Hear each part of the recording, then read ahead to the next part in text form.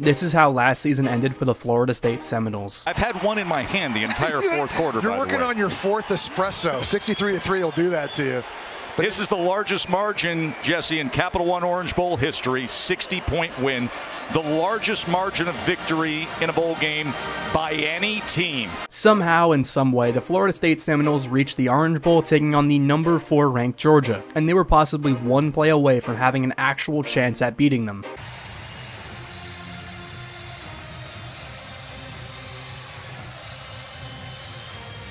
With Jordan Travis hurt, the Seminoles had no chance at beating Georgia, and I think even they knew that. And the sudden downfall, I guess you'd call it, of Florida State is kind of making sense. Everyone had so high expectations for Florida State, and I don't think they were realizing that Florida lost 10 key players to the NFL draft this past season. That's including their number one wide receiver, Keon Coleman, who got drafted to the Bills. They also lost defense end Jared Verse, who got drafted in the first round to the LA Rams. And then let's not forget about their defensive lineman, Braden Fiske, who also got drafted to the Rams this past year. And Jordan Travis, who was drafted in the fifth round to the New York Jets. And keep in mind, that was their best player on their team. And I can continue to keep going on about players they lost. And also, let's not forget about the players they lost to graduation. Now, with all that happening, they have no quarterback and they lose their best receiver, they lose their two best defensive linemen. And then all of a sudden, Florida State lands one of the top quarterback transfers in the country, DJ Uiagalelei as he transfers out of Oregon State and he's heading to FSU. After they land Mr. Alphabet, Florida State fans are all happy, they're excited because they just landed one of the top quarterback prospects in the country, like I said, right? That's like landing Josh Allen in the NFL's terms, so if you don't know a lot about college, that's basically a good comparison for it. DJ was supposed to be one of the top quarterbacks coming out,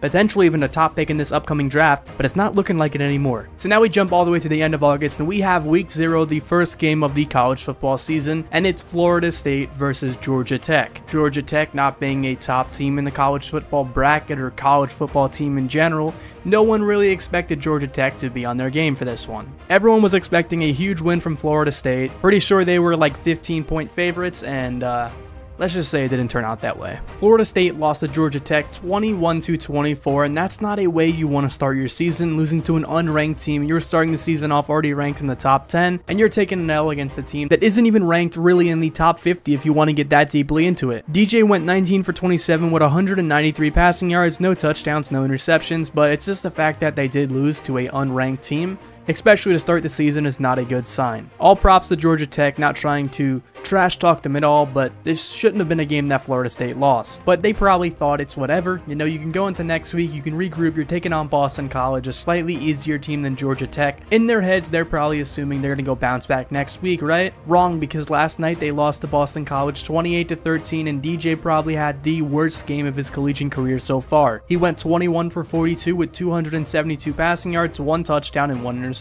Boston College absolutely owned Florida State this whole entire game, and right before kickoff, Florida State was favored in this game by 16 and a half points, and once again, they let their fans down. But luckily for me, I had plus 16 and a half for Boston College. I knew this was going to happen. If you have any current knowledge in the world with college football, you knew this was going to happen. You see all of it being put pen to paper. You watched last week, you see DJ is not looking so good to start the season. Maybe you're assuming he's going to bounce back, like I said, that's probably what they assumed. But no, that was just completely wrong, and they did the basically opposite of that, losing to Boston College. Now, I'm not saying in any means DJ is a terrible quarterback. Actually, let me take that back. I am saying he's a terrible quarterback. I don't think he's able to process what's going on, and I actually mean that. He's a Division 1 quarterback and he's not able to process what he's doing and where he's throwing the ball. This dude has the worst field sense I've ever seen ever in my life. And I know it just seems like I'm basically trash talking him and I kind of am in some sort, but I've never honestly seen a quarterback this bad ever before in college football. I know he has all his talent around him. I think he has a lot of talent. He's just not able to put it on the field with Florida State and I think we're all seeing that right now. I don't want to say he's the only thing to blame for Florida State starting the season off 0-2. He's a pretty big part of why they are 0-2 right now. I definitely think they could bounce back, but I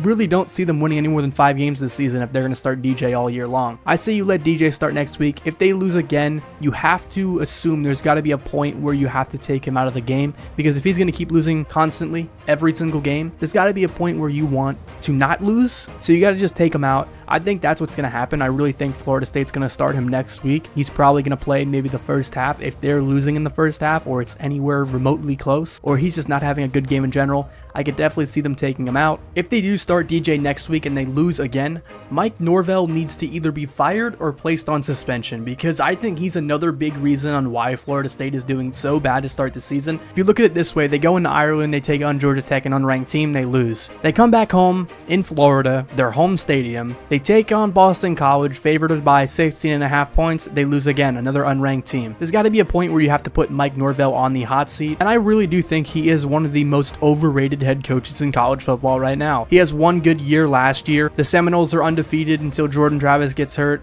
and all of a sudden he's a top 10, top five college football head coach. I don't think that's how it works. I think everyone's completely wrong. If you actually do think Mike Norvell is a top coach in college football, and I know for a fact Alabama fans are sitting back right now with their head relaxed. They're so happy they did not hire Mike Norvell because if they would have, they would have been probably going through the same thing they're going through right now. Although they have Jalen Milroe, I think with any head coach, Jalen Milroe can make any offense work. You could probably put Jalen Milroe in the Western Kentucky offense. They'd somehow still make the playoffs because Jalen Milroe is just a good quarterback in general. One more thing I do want to talk about is Florida State's run defense is actually the worst run defense in college football right now. Last night, they allowed 263 rushing yards to Boston College. Like, come on. And then the week before that against Georgia Tech, they allow another 190 rushing yards. And that is another main reason why Florida State's 0-2, their run defense. They have none. They lost all their best players to the draft. Jared Verse is gone. You don't have Braden Fiske. And you're basically seeing it all pushed out to you in your eyes that, you know, they don't have a good defense. And I think that's another main reason. So you have the three main reasons on why Florida State is 0-2 right now. One, DJ is not a good quarterback.